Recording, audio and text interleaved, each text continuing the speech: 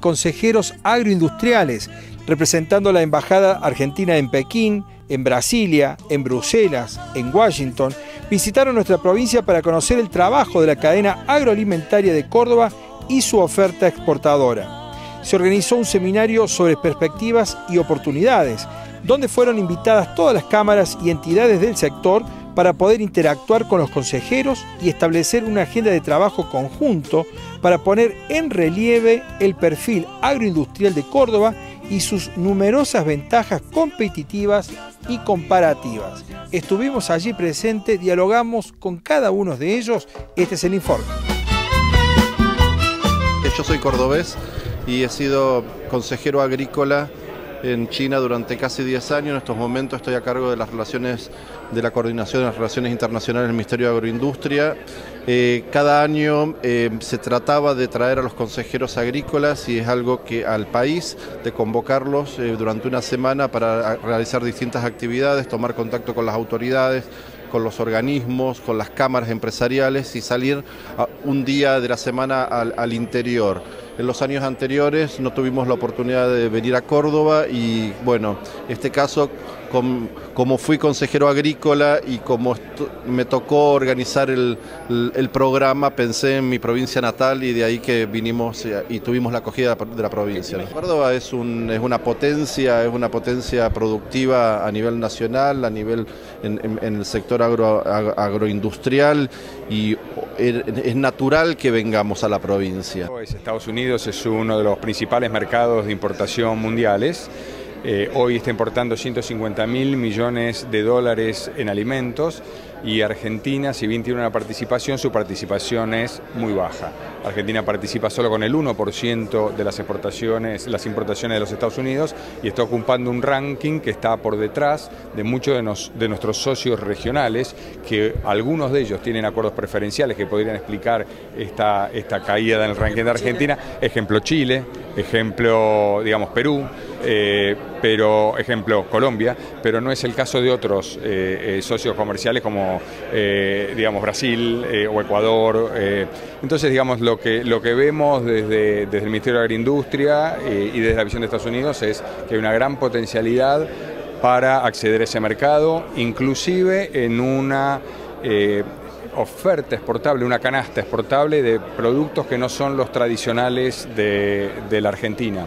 Principalmente a tomar contacto con los distintos sectores productivos de la, de la provincia y conocer un poco sus inquietudes y mostrarles qué es lo que nosotros hacemos desde la consejería y las oportunidades que hay en, China para incrementar nuestras exportaciones. E, e, es de destacar que cuando uno habla con un, con un consumidor, con un chino, eh, eh, y uno le dice que es de Argentina, nos identifican por el fútbol, por la carne, por los vinos y últimamente por los langostinos que han crecido mucho las exportaciones. Pero por ahí por otros productos no tanto, digamos, porque en realidad nuestra, nuestras exportaciones estaban concentrando fuertemente en el complejo sojero y por ahí es algo que el consumidor final no lo ve directamente. ¿Qué posibilidades tenemos de darle valor agregado a los productos nuestros? ¿Ellos los aceptarían?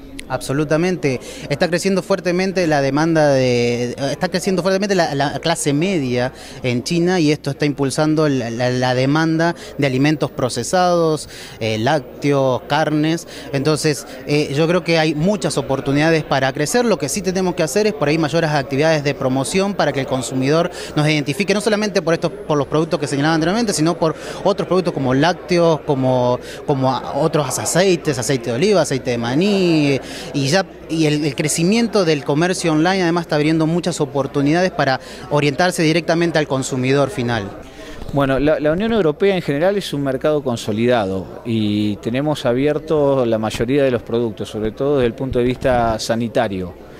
Eh, hay algunos productos especiales que estamos insistiendo y hemos visto acá mucho interés en Córdoba, como es el caso de genética bovina, ese es un producto que hoy no lo tenemos abierto desde las zonas con vacunación antiaftosa y es un producto que estamos solicitando y está en nuestra agenda bilateral con la, con la Comisión y con la Unión Europea.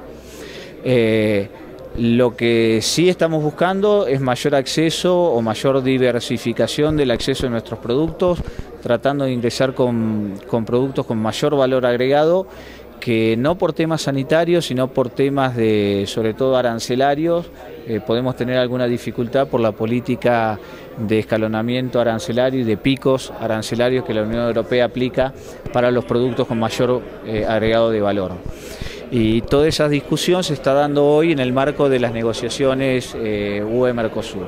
Lo que hay permanente con la Unión Europea hay que estar atento es que van eh, modificando algunas legislaciones algunos temas horizontales, como es el caso de, o políticas que aplican, como para la biotecnología, los organismos genéticamente modificados, los temas de pesticidas, eh, en donde generalmente van disminuyendo, dando de baja sustancias que nosotros podemos estar utilizando en nuestra producción para distintos productos que pueden llegar a dificultar eh, el acceso o, exigencias medioambientales o fitosanitarios, como dije, de pesticidas.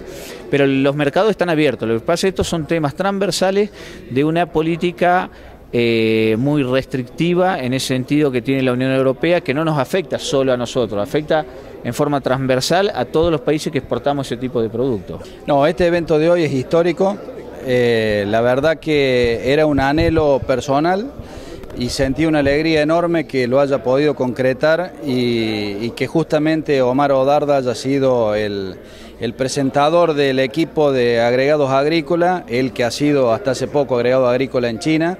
Eh, la presencia de los cuatro agregados agrícolas para una provincia de cultura exportadora como Córdoba es una oportunidad única.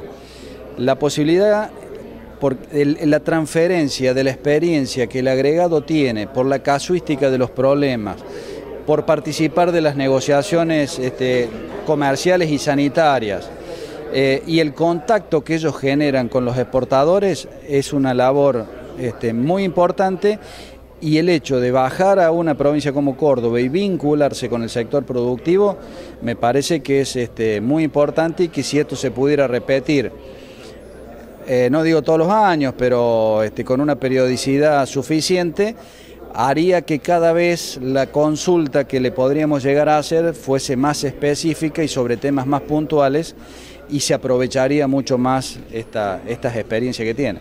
Los cordobeses pudimos tener la posibilidad, de, después de mucho tiempo, de tener a nuestros consejeros agrícolas por el mundo este, y sobre todo los cuatro consejeros que tiene el Ministerio de Agroindustria. Ustedes saben que también fruto de este cepo institucional que vio la provincia, era muy difícil tener a nuestros representantes en el mundo, a nuestros consejeros acá, para poder escucharlos, para poder articular. De hecho, yo quiero rescatar esta, esta posibilidad que me ha dado el ministro Burjaile de que vengan hoy acá a Córdoba, de que vengan los cuatro consejeros y podamos charlar de, de esta manera. Creo que fue una reunión interesante porque ellos plantearon un panorama global y bueno, quedó también hacia adelante la posibilidad de articular este, para el futuro. Me parece que en ese sentido este seminario fue provechoso. Lo normal que a nosotros nos, parecía extraordinario, tiene que ser esto, ¿no? La posibilidad de juntarse, de poner todo del Estado para que realmente el productor, el exportador pueda tener acceso a los mercados. Y por el otro lado también saber que tenemos consejeros agrícolas que son personas de carne y hueso, que son normales, accesibles, que uno puede vía correo o por teléfono este, poder hacer una consulta, acceder a veces a información que inclusive uno ve Claro, y que uno ve que de pronto la exportación es algo dificultoso y no es tan dificultoso. Es cierto que hay que tener una cultura distinta en la exportación, lo han dicho los consejeros, hay que ser serio, hay que ser, hay que tener continuidad, hay que, hay, claro, hay que conocer los mercados, hay que estar informado, hay que promover lo que uno puede, quiere vender. Me parece que es todo un trabajo este, que se tiene resultado a través de un tiempo, pero en ese sentido ellos me parece que este panorama que han dado es de mucha utilidad.